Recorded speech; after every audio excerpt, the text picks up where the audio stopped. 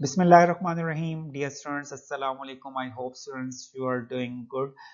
Subject statistics का chapter one discuss करूँगा और लेक्चर नंबर वन है और चैप्टर हमारा first chapter that is introduction तो स्टूडेंट्स आपने मेरे चैनल को सब्सक्राइब करना है अपना फीडबैक ज़रूर दें तो let's start the new chapter chapter number one introduction In the first chapter, introduction, I will discuss the three points of statistics. First one is the meaning of statistics, second one is the branches of statistics, and the last one is the characteristics of statistics.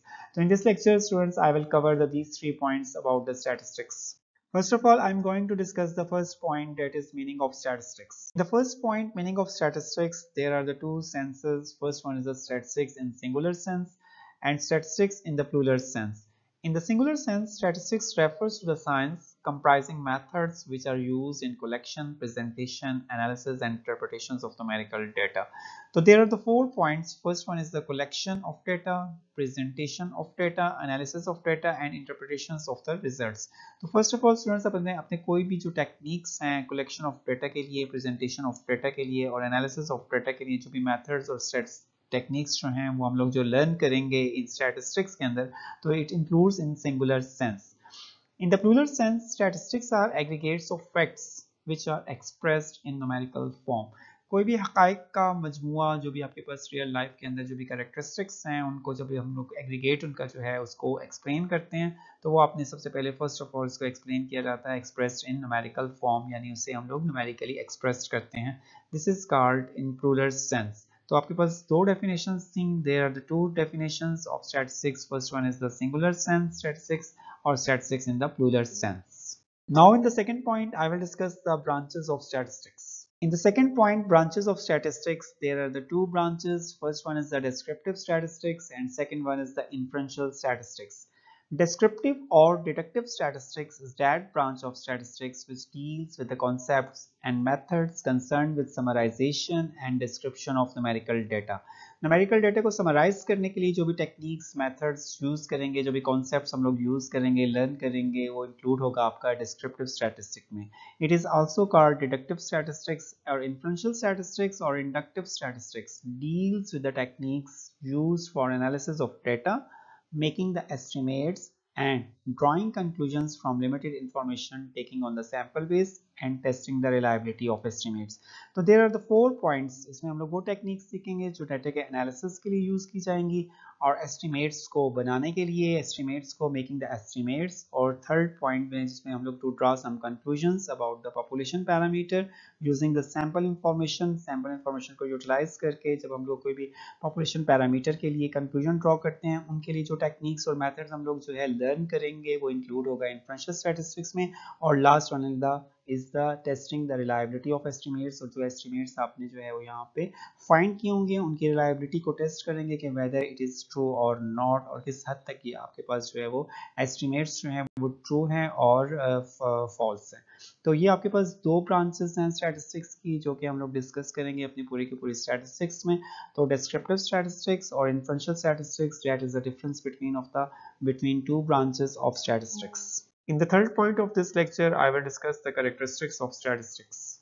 First point of the characteristics of statistics is statistics are aggregates of facts. There is also the definition of statistics in plural sense. For example, the heights of a person, however tall he may be, is not statistics. A collection of heights of 100 students would be a statistics. Every characteristics, every phenomena or every variable which is clearly defined in statistics here heights of 100 students would be a statistics. Then you can say that tall he may be is not statistics. In the second point, statistics are affected to a great extent by multiplicity of causes. For example, the heights of individuals are affected by heights of their parents. So many other factors that is also affected to a variable to affect to a characteristics. In the third point, statistics are numerically expressed. For example, the average yield of a wheat per acre during the year was 65 maunds is a statistical treatment. Here statistical treatment is that every characteristics, every fact that is expressed numerically. Here every yield of average average yield is explained in 65 maunds in numerical expression. 65 is your numerical expression. Uh, if you explain heights that is 65 inches, this is also numerically expressed and if you can say that weights of students that is numeric, numeric expression is that 65 kg. That is called statistical treatment. So in the fourth point, statistics are estimated according to reasonable standard of accuracy.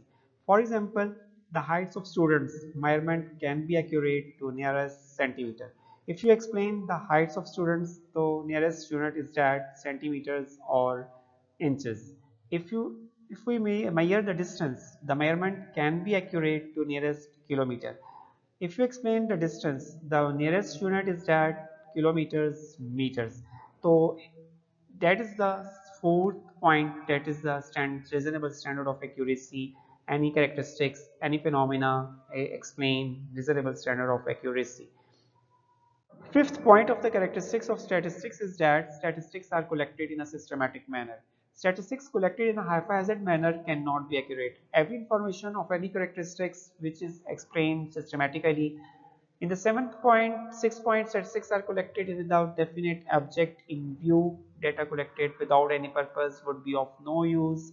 In the seventh point, statistics are capable of being placed in relation to each other it should be homogeneous so date they are comparable कोई भी characteristics जिसको आप consider कर रहे हैं which is which is of homogeneous type और इसको हम लोग जो है वो कंपेयर कर सकें रिजल्ट्स को it is not possible to compare figures which of a heterogeneous character and cannot be placed in relation to each other. For example, ages of husbands and wives at marriage are comparable and can be explained in relation to each other. And there are the seven characteristics of statistics uh, that we have been explained here. Definition of statistics include all characteristics of statistics. A definition comprehensive enough to include the above characteristics of statistics has been given by Secrist. He defines statistics as the aggregates of facts affected to a great extent by multiplicity of causes numerically expressed estimated according to reasonable standard of accuracy collected in a systematic manner for a predetermined purpose in view and placed in relation to each other. So that is the definition uh, given by Secrist. He defines statistics uh, with all characteristics of the statistics. In this lecture, students, I have been explained the meaning of statistics, branches of statistics and characteristics of statistics briefly and इंशाल्लाह ताला next lecture में students आपसे मुलाकात होगी। Next topic के साथ अपना ख्याल रखिएगा और मेरे चैनल को सब्सक्राइब करना है, अपना फीडबैक ज़रूर दें।